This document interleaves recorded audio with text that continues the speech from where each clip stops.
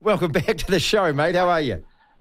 Good, thanks, Martin. How are you, mate? I'm very well. Okay, so you've been in Wellington um, and uh, I, I, presume doing something at NZHQ. You're on your way back to Christchurch. Dude, you know what kind of questions you, I'm coming at you with. You know what I've got to ask. and I know that there's not much you can actually say, um, but also you're a good man because you come on. What can you tell us about what's going on and what do you know? Well, basically, what we're doing is we're, we're assuming he's with us, uh, right? So we're, we're, planning on that. The, the, the, guy Razor's, he's got this razor-like focus on the on the program at the moment. The pre-season, he's fully immersed. He's talking lovingly about the coaches and the players, and um, and um, you wouldn't think there's anything else on his mind other than than Crusaders 2023. That's what you that's what you would think. Now, obviously, outside of the environment, it doesn't quite look and feel like that. But I, I can I can assure you, inside the place, he's just uh, absolutely focused on 2023. So. Um, yeah, so we, we, what we're doing is we're just we're going to play it when it arrives. We, have been through a couple of changes before. Obviously, we, we um, Jason mm, uh, and mm. Andrew Goodman went to Leinster, so we, are sort of we're reasonably well practiced at dealing with these things. but um, but yeah, we're um, at the moment. You would hardly think when you see the guy at work, you'd hardly think that there was anything on his mind other than um, Crusaders 2023. Uh, can we just? Uh, is it a fluid situation, or do you feel more confident than that? Uh, I think you just play what's in front of you, don't you? So uh, it's essentially what's in our control Marty, is is that um, is just dealing with each day as it comes. So, and that's the only thing we've got control. Everything else is sort of outside of the control. Um, we've been through, um, you know, we've been through how do we deal with these things before, um, because we, you know, we did it obviously last year. It's pretty public knowledge that. Um, we had to deal with those things as, did other super clubs. So we've, we've been, been through the process before. We've thought about it. Um, but now it's sort of, you know, those plans sit in the bottom drawer and we just dust off, um, uh, uh dust them off if, if something happens. In the meantime, we just assume 2023 is, um, is all go. This is Colin Mansbridge uh, with us, the CEO of the Crusaders, and you'd, you'd confirmed previously that uh, he's gone by 2024 anyway, isn't it? That you've kind of accepted that. Yeah, and, and yes and no. uh, we've accepted it, um, but you know, if if nothing else happened and he turned around and said, Could I stay?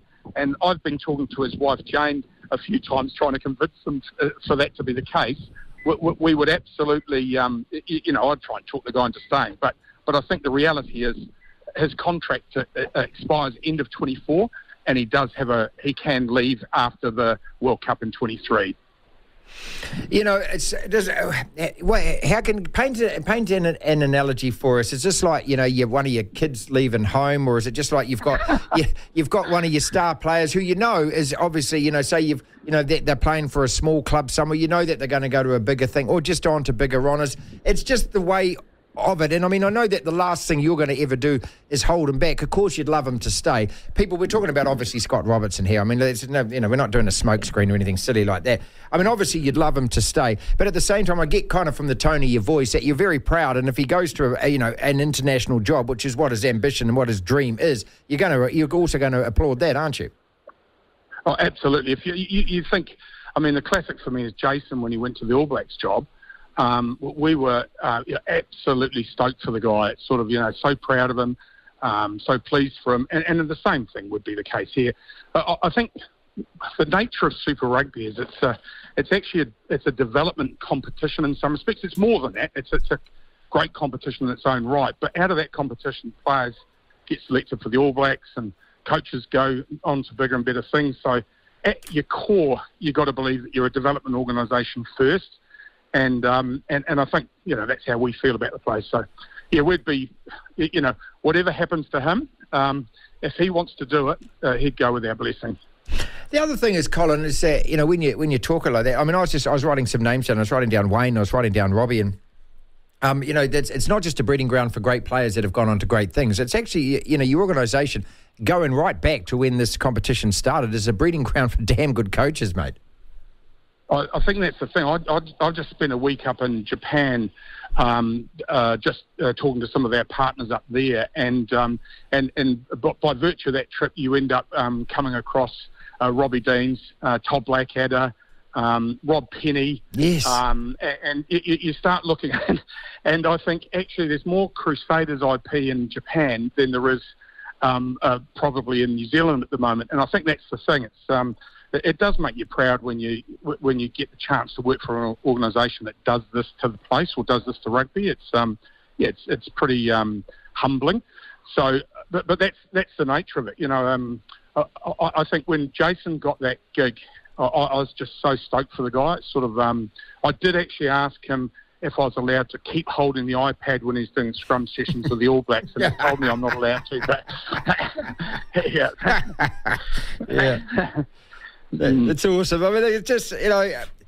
I mean, I, I got a text from um, him yesterday, Scott, uh, and and it was I wasn't going to say anything about it. I mean, I'm not going to say what it was. I was just giving him a hard time about, dude. You know, you're in the news a lot, considering you're not saying very much and he sent back a, a, nice cheeky message and that. And so, look, he's just there just seems to be an overwhelming feeling of of real goodwill towards Scott Robertson.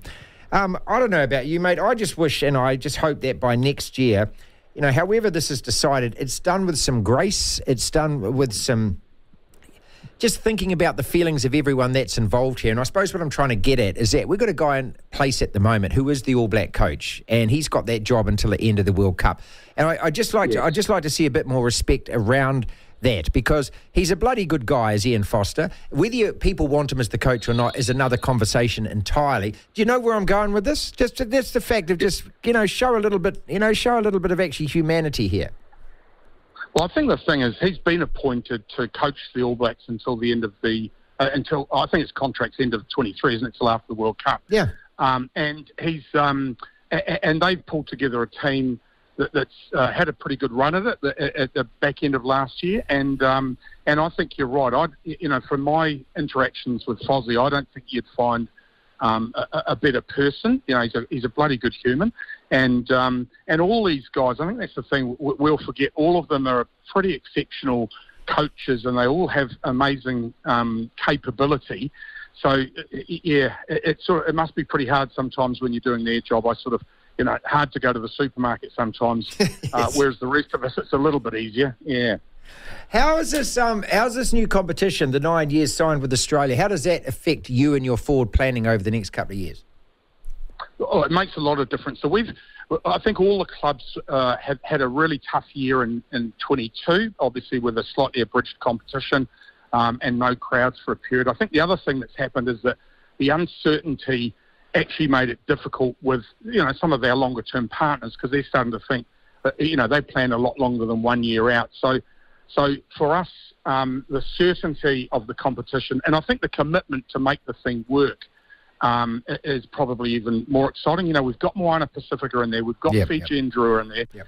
um, but but they were it was almost like um, they were sort of a, it, it, felt like there's a bit of a tack on.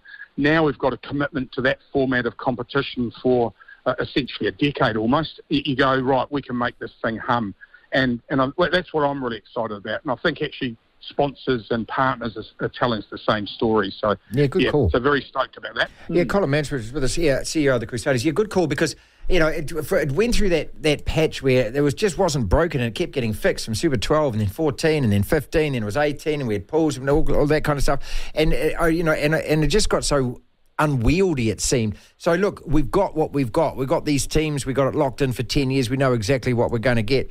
Um, the other thing is, of course, have they turned any sod on the stadium yet? They have. Uh, Brilliant. They've started. Brilliant. They, are they, digging some stuff up. They, are telling us still quarter uh, quarter two 2026, but um, there's fences around. There is definitely um, there's holes in the ground. Um, and uh, yeah, so uh, I, go down there every day and have my morning cup of coffee. Go and keep an eye on. But yeah, yeah. So it's, it's pretty exciting, very exciting. Well, look, you know, as I say, look, you know, I'm not asking you, pressing you for you know details and news because, as you say, I mean, you know, it'll happen when it happens, and we'll find out when when we find out. But um, yeah, look, uh, if you're writing a note, just you know, say from just add it the rest of it. You know, for the rest of the rugby fans in New Zealand, if we can keep you in New Zealand, Scott Robertson would be damn good. I'd rather have you here doing what you know. Just say that. All of us feel like that, don't, mate? We do. Yeah, I think we, we do. There's no doubt about that. Yeah. Thank you so much for your time. Have a, a really um, uh, restive, festive season, my friend, and we'll catch up next year, eh? Thanks, Marty. Same to you, mate. Cheers. Good on you. Bye-bye. Colin Mansbridge is with the CEO of the Crusaders.